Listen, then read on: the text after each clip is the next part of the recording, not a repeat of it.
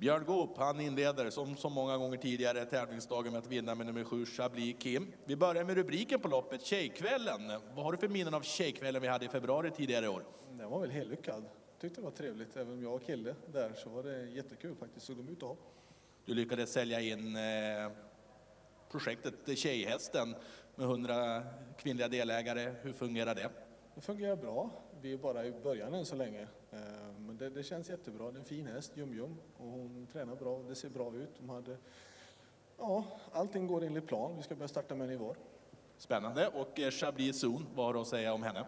Ja, hon gick bra tycker jag på Örebro, men hon har stor kropp och har behövt lite tid att orka med sig. Men hon är fin och hon blev snäppet vassare idag och det blir nog bra det här. Kändes det småklart hela vägen eller hann du bli orolig någon gång? Ja, vi är ju så svårt att veta vad bra Jens häst var. Han gick ju ut utvändigt om mig och jag misstänker att han hade klart på gång att han, att han hade känsla av att han hade en väldigt bra häst och det, han stred ju hela vägen in. Men hon svarade ärligt tycker jag bra Chablis. Hur tycker du avslutningen för 2011 är för Björn Goop? Jättebra. Jag är nöjd med 2011. Det, jag visste att det skulle vara ett tufft år i år. Jag kände som att det var mitt år att bli lite grann ifrågasatt på det mesta. Men jag tycker att vi har rätt ut det bra. Jag tycker hela manstyrkan omkring oss har gjort ett jättebra jobb och jag har kämpat så gott det går och det, det har varit ett bra resultat. Finns det någon möjlighet att Färjestadtravet har en representant eh, i Paris, Vincennes, sista söndagen i januari?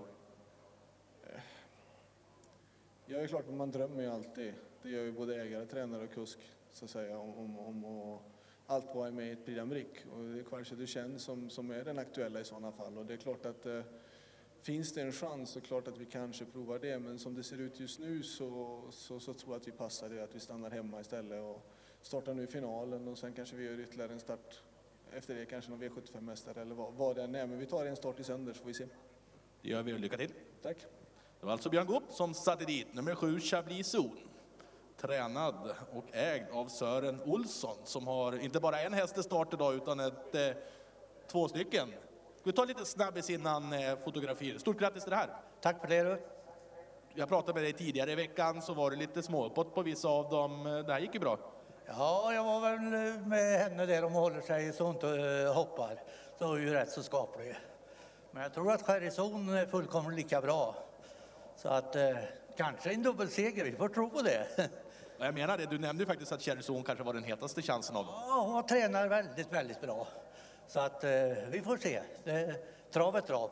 Då applåderar vi nummer sju Chablis Zon, Björn Goop.